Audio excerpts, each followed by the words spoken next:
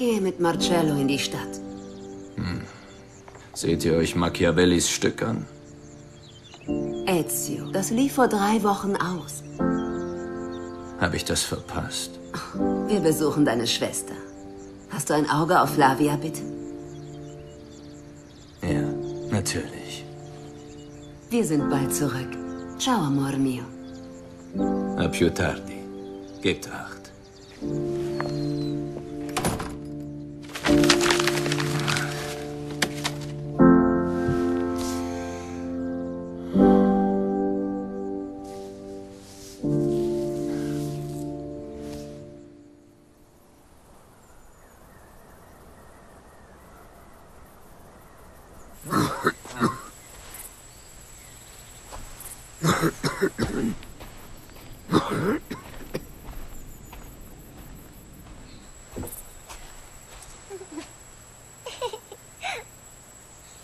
Flavia, Tesoro. Bleib, wo ich dich sehen kann.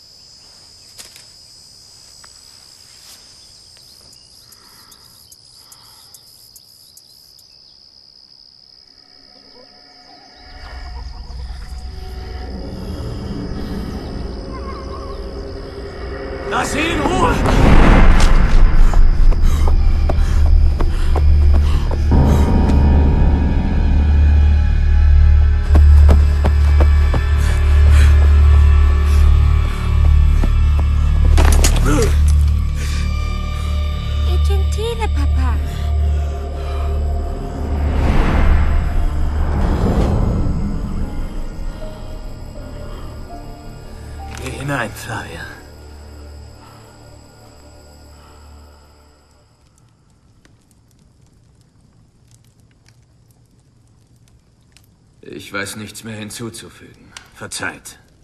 Ich will nichts damit zu tun haben. Ich möchte verstehen, Was denn verstehen? wie man führt, um den Orden zu erneuern. Nein, für mich ist das vorbei. Finito. Ihr solltet besser gehen. Ezio, sie ist sehr weit gereist. Shao Yun. Hab ich das richtig gesagt? Möchtet ihr zum Essen bleiben? Grazie. Gut, wir haben ein Gästezimmer. Bleibt gern ein paar Nächte bei uns.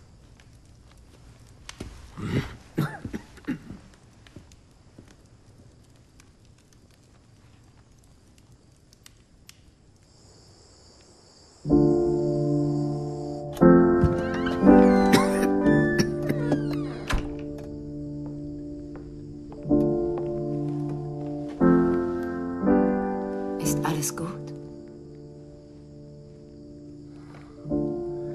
Ich kann wohl meiner Vergangenheit nicht entkommen. Ich begann diesen Akt meines Lebens so spät, Sophia. Ich wusste, mir bliebe nicht genug Zeit für alles. Jetzt fürchte ich, ich habe für überhaupt gar nichts mehr Zeit.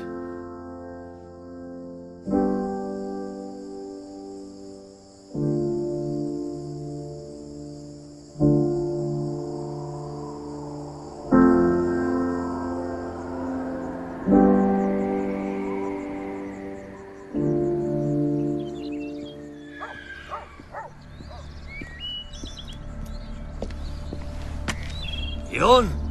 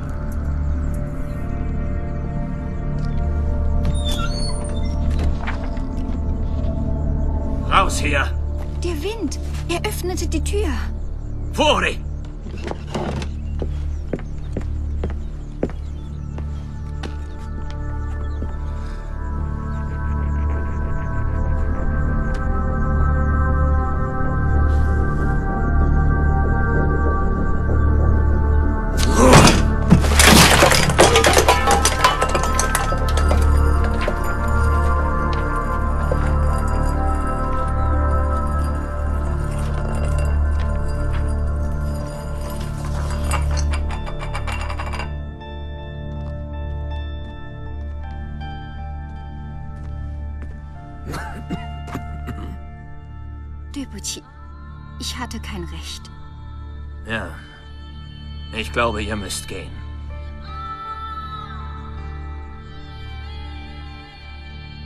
Mein Name ist Ezio Auditore. Als ich noch jung war, hatte ich Freiheit, doch sah ich sie nicht.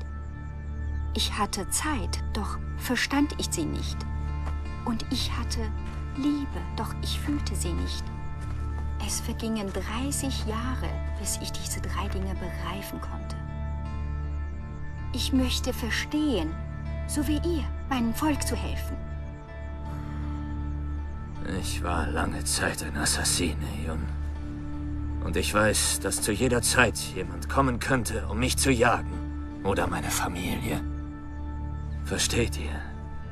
Deswegen muss ich vorsichtig sein.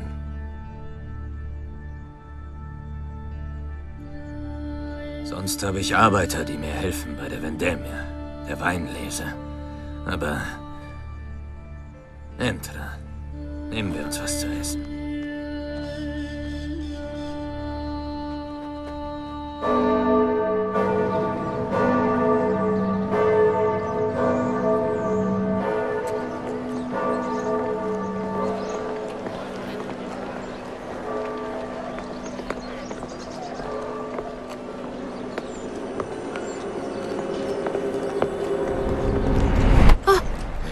Wird das drei Jahreszeiten reichen. Irland, ich möchte euch etwas zeigen.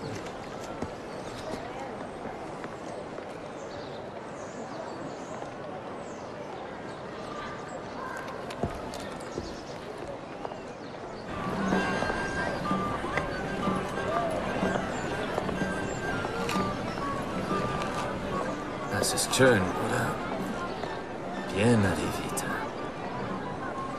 Meine halbe Familie wurde ermordet auf dieser Piazza. Genau da, vor 45 Jahren. Aber nun, das alles wiederzusehen, so voller Leben. Ich kann nicht anders als glücklich zu sein und zufrieden, dass so viel Schmerz abgeklungen ist. Das Leben eines Assassinen ist Schmerz. Du erleidest ihn, du verursachst ihn und du siehst ihn geschehen, in der Hoffnung, dass du helfen kannst, ihn einst zu besiegen. Eine grausame Ironie, ja. Aber so ist es. Wohlan. Es wird Zeit, diesen alten Mann nach Hause zu bringen.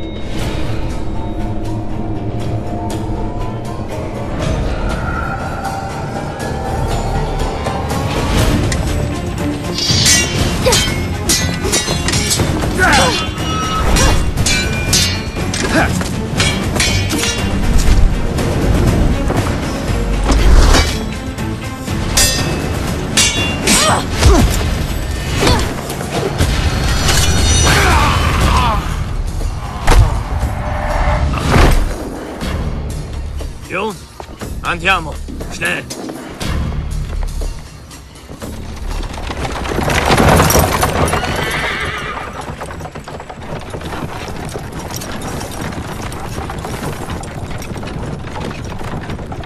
Mein Mentor wünschte, euch zu treffen. Wir verließen China gemeinsam, im Geheimen. Aber diese Männer, sie fingen ihn in Venezia. Wer sind die? Diener des Kaisers Jiajing. Ich wurde als Konkubine geboren, doch mein Mentor ließ mich frei. Wir kehrten später zurück, um mehr Mädchen zu retten, doch sie waren. Der Kaiser ist ein grausamer Mann. Er bevorzugt Ling Qi, nicht das Köpfen. Ling Chi? Viel langsamer. viele tausend Schnitte. Dann tot.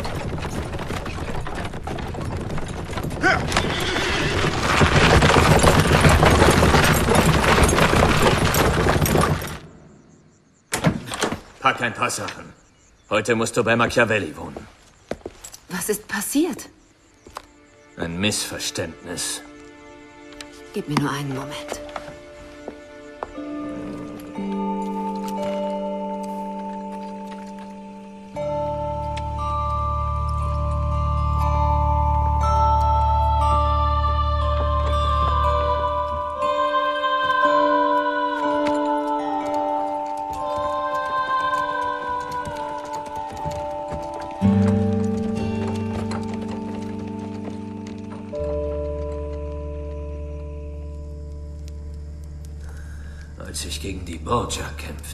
Trieb mich der Rachedurst nach vorne. Und mein erster Trieb war, auf den Kopf zu zielen. Irgendwann aber lernte ich, dass die, die Angst erwecken, das hingebungsvollere Gefolge haben als die, die Liebe predigen. Rodrigo und Cesare zu töten hätte gar nichts erreicht, ohne eine wohl ausgebildete Bruderschaft. Also verbrachte ich viele Jahre damit, Männer und Frauen darin zu unterrichten, selbstständig zu denken und zu handeln. Zuerst in Roma, dann in Konstantinopoli. Die Liebe hält unseren Orden zusammen. Die Liebe zu Menschen, zu Kulturen, zur Welt. Kämpft, um das zu schützen, das Hoffnung schürt. Und ihr werdet euer Volk zurückgewinnen. Wird eine lange Zeit dauern. Sehr lang. Wenn ihr es richtig macht, ja. Ruht euch aus.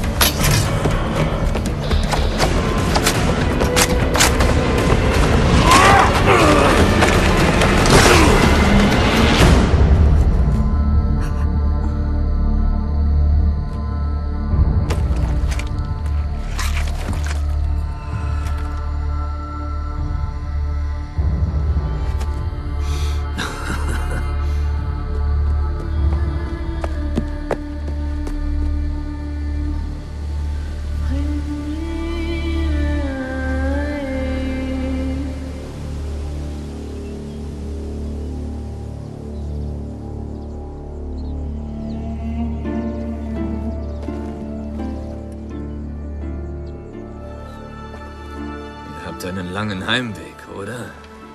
Viel zu sehen auf dem Weg. Dashi, Hier, das könnte einmal nützlich sein. Nein, nur wenn ihr den Weg verliert. Ihr solltet gehen.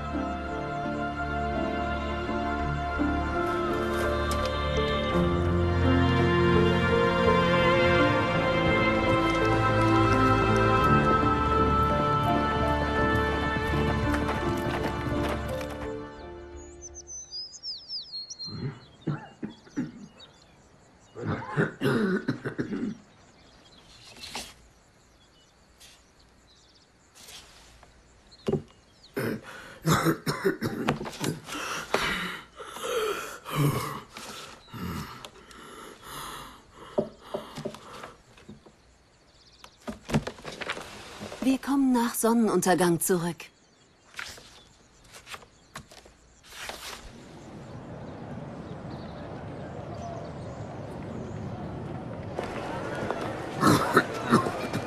Du hättest daheim bleiben sollen. Ich bin daheim. Wir sind dann dort drüben.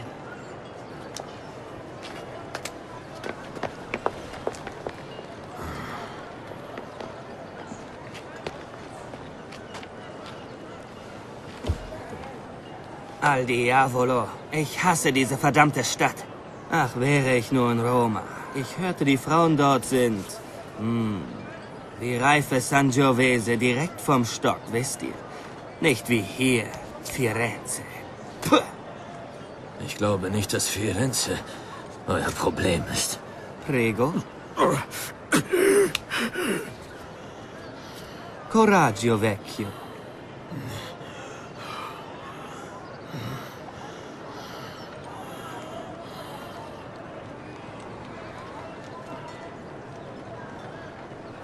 Ruht euch aus. Hm?